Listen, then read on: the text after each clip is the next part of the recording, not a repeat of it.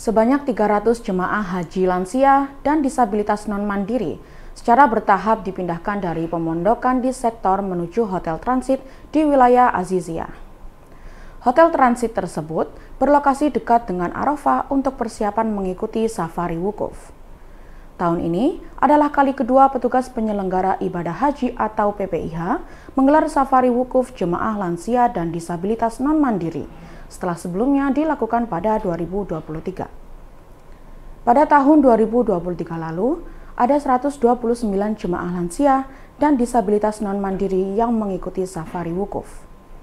Saat itu, ada lebih dari 9.000 yang didaftarkan, namun kuota yang tersedia hanya 129 orang. Kini kuota akan ditambah hingga 300 jemaah. Proses pelayanan safari wukuf lansia dan disabilitas non-mandiri tahun 2024 berlangsung dari 12 sampai 19 Juni 2024. Kepala Bidang Layanan Jemaah Lansia dan Disabilitas, Selamat Sodali mengungkapkan, pihaknya sudah melakukan pendataan yakni ada 300 jamaah lansia dari 11 sektor pemondokan yang dipindahkan ke hotel transit untuk persiapan mengikuti safari wukuf. Pemindahan ke hotel transit dilakukan lebih awal, yakni pada 12 sampai 13 Juni 2024 agar tidak terburu-buru. Selamat juga menambahkan, pihaknya telah menyiapkan sejumlah petugas untuk mendampingi jemaah selama di hotel transit. Pemerintah Arab Saudi telah menetapkan satu Hijjah yaitu bertepatan dengan 7 Juni 2024, yang berarti wukuf di Arafah dilaksanakan pada 15 Juni 2024. Jemaah lansia dan disabilitas non-mandiri akan diberangkatkan dari hotel transit menuju Arafah dengan bus yang disiapkan secara khusus pada sekitar pukul 11 waktu Arab Saudi. Selamat mengatakan akan ada 10 bus dengan masing-masing 6 pendamping yang siap diberangkatkan. Proses safari wukuf dilakukan setelah masuk waktu zuhur dan diawali dengan khutbah. Dilanjutkan sholat jamak takdim zuhur dan asar yang tetap dilakukan di atas kendaraan. Setelah itu, jemaah diberi kesempatan untuk berzikir sebelum kembali diantar ke hotel transit dan akan menetap di hotel hingga selesai proses mabit di Mina. Beragam kegiatan telah disiapkan untuk mengisi hari-hari jemaah lansia dan disabilitas selama di hotel transit seperti senam lansia hingga pemeriksaan kesehatan berkala. Untuk pelaksanaan ibadah lainnya seperti lontar jumroh maupun tawaf ifadah akan dibadal hajikan oleh para petugas. Dan Tribuners, berikut kita simak bersama penjelasan dari Dr. Meldi Musada Elva, selaku dokter dari tim PBIH Arab Saudi. Apa jemaah dari sektor ke lansia ini? Baik, uh, berdasarkan data yang kami dapatkan dari KASI bahwa jumlah jemaah haji yang akan kita safari wukufkan itu berjumlah 288. Itu terdiri dari 11 sektor dan pada hari ini kita akan menjemput jemaah haji dari enam sektor yaitu dari sektor 1 sampai sektor 6. Jadi eh, teknisnya eh, kita menjemput dengan menggunakan dua bis. Jadi bis pertama dan bis yang kedua itu menjemput dari sektor 1 dan sektor 2. Kemudian setelah mereka sampai ke sini, kita jemput oleh uh, petugas yang ada di sini. Kemudian bis yang satu akan berangkat lagi untuk menjemput sektor 3. Kemudian bis yang kedua yang datang juga akan berangkat lagi untuk menjemput sektor 4 dan begitulah seterusnya sampai sektor 1 dan sektor 6 itu terpenuhi penjemputannya ke hotel transit yang ada di sini. Dokter bisa jelasin fasilitas atau layanan yang didapatkan lansia di sini seperti apa? Baik, kalau fasilitas secara infrastrukturnya di sini ya kita buat senyaman mungkin seperti di rumah. Sehingga kita memilih hotelnya ini adalah mirip apartemen. Jadi bahkan kalau bisa nanti dilihat itu tempatnya itu tidak seperti hotel yang berjejer itu, tetapi dia seperti ada kamar-kamarnya, kemudian terdapat eh, terdapat kitchen, eh, terdapat dapur, kemudian ada tempat uh, kamar mandinya dan uh, toiletnya yang terpisah. Kemudian setelah itu juga dilengkapi dengan bantal selimut yang nyaman, kemudian televisi sangat nyaman sekali desainnya, ruangannya bersih berwarna putih, itu secara infrastruktur. Dari segi petugas sendiri kami sudah menyiapkan petugas untuk melayani mereka selama mereka di sini sampai nanti dilakukan safari wukuf dan pengembalian lagi kepada kloter. Antara lain yang pertama adalah petugas dari PKP 3JH di mana di sini ada petugas dari bidang kesehatan. Bidang kesehatan itu baik dokter dan perawat untuk men-screening kalau seandainya ada sesuatu hal yang berkaitan dengan kesehatan. Kalau seandainya bisa kita kita bisa tangani di sini, kita akan tangani yang ringan-ringan. Tapi kalau seandainya itu berat, kita akan kirim mereka nanti ke kantor kesehatan haji Indonesia yang ada di Aziziyah Janubiyah.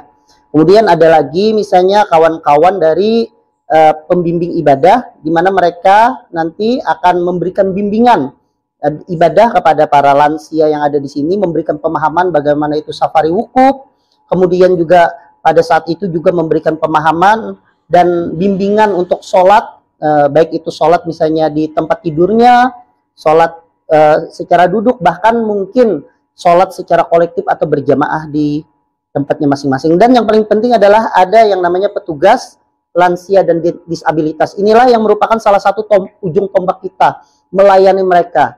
Kalau seandainya mereka itu eh, makannya sulit, kita bantu untuk menyuapinya. Kemudian uh, dia punya gangguan dalam berjalan ke kamar mandi, kita papah, kita bantu dia ke kamar mandi. Bahkan bisa dilihat nanti kamar mandinya, desain kamar mandi duduknya itu juga sudah kita lengkapi dengan pegangan pengamanan. Sehingga pada lansia yang selama yang ada di sini yang dengan disabilitas juga mereka akan uh, mendapatkan pelayanan yang paripurna dari kita sebagai petugas haji di safari wukuf kita kali ini. safari wukufnya seperti apa? Mereka akan berangkat kapan justru? Sekalian dok, ini kenapa hari ini udah dibawa ke sini? Secara teknis tujuannya apa? Baik, uh, yang pertama kenapa kita ketahui bersama bahwa safari wukuf nanti akan dilaksanakan pada hari Sabtu ya. Tapi kenapa sekarang kita sudah bawa sejak hari hari ini adalah hari Rabu. Yang pertama adalah kita tidak bisa mengangkut mereka sekaligus. Ini berbeda dengan jamaah haji yang sehat. Jamaah haji yang sehat 400 diangkut sekaligus tidak ada masalah karena mereka naik bis sendiri mandiri, turun bis sendiri, naik uh, ke hotelnya, persiapannya semuanya mandiri. Sedangkan ini semuanya kita bantu. Sehingga dengan jumlah yang hari ini saja kita bagi dua, 288 kita bagi, yang hari ini cuma sektor 1, sektor 6, kita sudah lihat tadi penjemputan dari sektor satu saja itu memerlukan tenaga yang lebih bagaimana menjemput mereka dari bis ke bawah, mengantar mereka ke atas, kemudian menyiapkan tempat tidurnya, kemudian yang belum makan langsung kita suapi, sehingga itu bertahap. Kalau itu dilakukan menjelang Hamin satu atau Hamin dua, takutnya itu tidak sempat, bahkan mungkin akan mengganggu kesehatan mereka, sehingga jauh-jauh hari. Sehingga hari ini dan besok itu kita akan melakukan pergeseran uh, perpindahan dari sektor menuju ke hotel transit ini.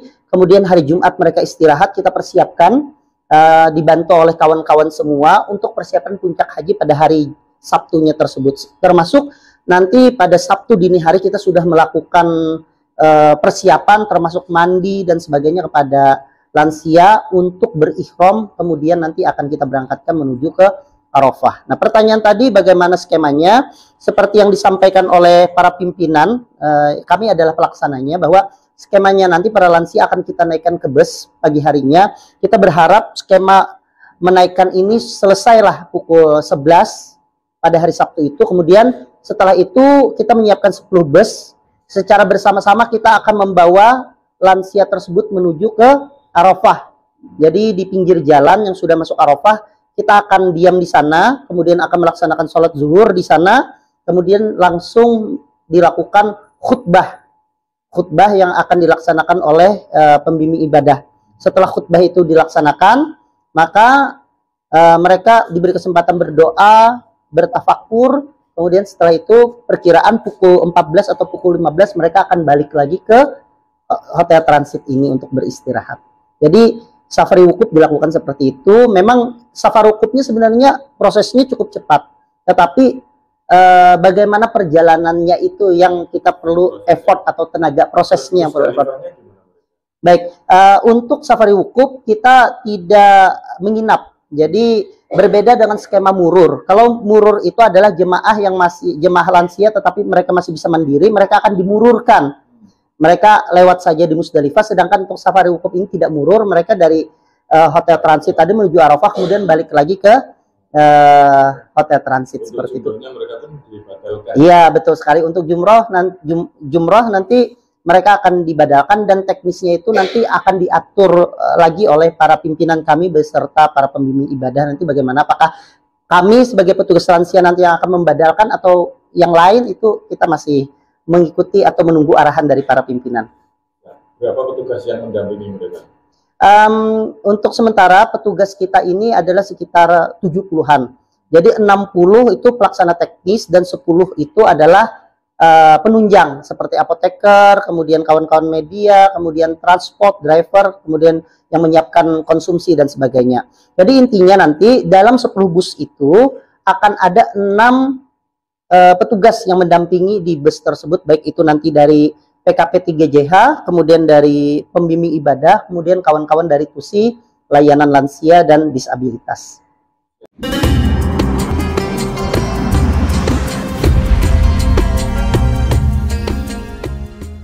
Download Tribun X sekarang.